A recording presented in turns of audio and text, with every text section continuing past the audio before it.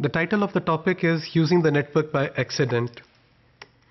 We look at the objectives of the topic first of all. After completing this topic, the students will be able to explain what's the experience when the users use the network by accident.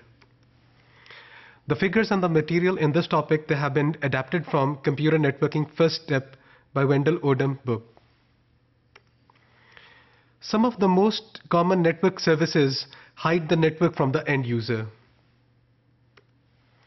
We call them accidental network services. We can think of these services as causing the end user to use the network by accident because he does not realize the network is involved in the task he is performing. Let's take an example to understand the concept, the idea behind the accidental services. Let's assume an employee named Fred working at a remote office. He's the master of his own domain. He has a PC, he has a printer, he can do all the activities without much interruption from the house home office. Fred's daily tasks. To perform his normal daily task, Fred opens a document using a word processor changes some of the text and prints a copy of the text. He then mails the letter to the customer and saves the changes to the letter. This diagram illustrates the working of Fred's normal daily activities, what he performs on his personal PC. You can see step number one. In step number one, he opens up a file. The file will be fetched from the hard disk. Let's say the name of the file is letter.doc. And then in the word processor, he then asks the printer to print the copy and then after he has done the printing, he will, in, third, in the third step, he says, let's save the file back to the hard disk. Fred's, let's assume that Fred's company expands. As the company expands, Fred cannot keep up with the work. The home office sends a highly skilled person, let's say the name is uh, Wilma, to Fred's uh, office to work with him and help him uh, get all the work done. The Wil Wilma's presence. Wilma brings her fast, high-end PC with her to the new office and installs a network.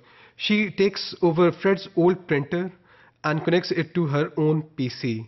She also copies all the customer letters from Fred's PC over to her PC. This is what we can think of. Wilma has connected Fred's old printer with her own PC and now she uh, all the files that were earlier residing on Fred's old computer are now residing in the on the hard disk of Wilma's computer. Wilma's presence um, Wilma sets everything up including the network so she she knows how to how it works. Fred however has no idea why the new girl would mess the things up like this. On the very next day Fred starts up his, his word processor, grabs a diskette and walks over to Wilma's computer and copies a customer letter onto the disk. He walks back to his desk, updates the letter using his old computer, and then walks back to Wilma's computer with the diskette. Then Fred's copies the file back onto Wilma's computer, replacing the old file, brings up the word processor on Wilma's computer so that he can print a copy for mailing to the customer. This is how it will look like. This is on the left hand side, you can see that we have Fred's old computer, we have on the right hand side, we have Wilma's super duper computer, and to Wilma's computer, a printer is attached. So Fred will go get customer document one, then he copies it on the diskette, brings it back, does some kind of editing, and then goes back to Wilma's computer, open up the file, and then gets a, takes a print of the updated file. Fred, however, does not know, however, he does not have any idea about the network. What he does is he instead walks back and forth between the computers with the diskettes, moving the files manually and requiring comfortable sneakers. That's why we call it sneaker net. It's a sarcastic term. This method is also working, but it was, it's way more time consuming than before the home office sent him help in the form of Wilma.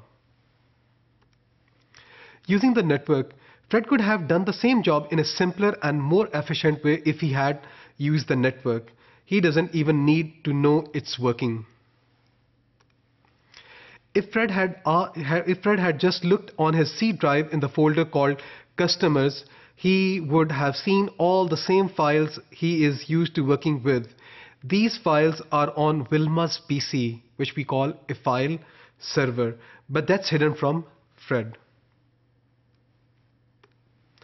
Also, when he clicks on the printer icon from his own word processor, he can see a printer called the same old printer, the same old printer which was, uh, which was attached to his PC before Wilma's presence. If he prints to that printer, it will print on his same old printer even though it's connected to Wilma's PC, which is set up as a printer server. This is how Fred could have done the job. If Fred had used the new network, he could open up the same word uh, processor window, fetched the letter.doc from Wilma's hard disk, and on his own computer, he could send the command to print letter.doc to the printer which is attached to Wilma's computer, and then press the click button to save, do some kind of editing, and save the same copy, same letter.doc back on Wilma's PC. So Wilma's computer are, is providing us with some couple of services. The first service is the file services and then the printer services. File services. File services include the process by which one computer, typically called a file server, keeps files on its disk drive and allows other computers to read and write to the files by using the network. Print services, the process by which a computer allows other computers to print files on a printer that is physically attached to the computer. Print server refers to the computer that provides printing services. The users do not actually need one printer on each desk. They simply share the printer located in a central area. Also, they probably want to use the same files as some of their co-workers. For Fred to do his job, he really didn't need to know that the network existed. So in today's, uh, in this topic, we have covered that uh, how Fred was using those services which are actually hidden from him. This concludes this topic.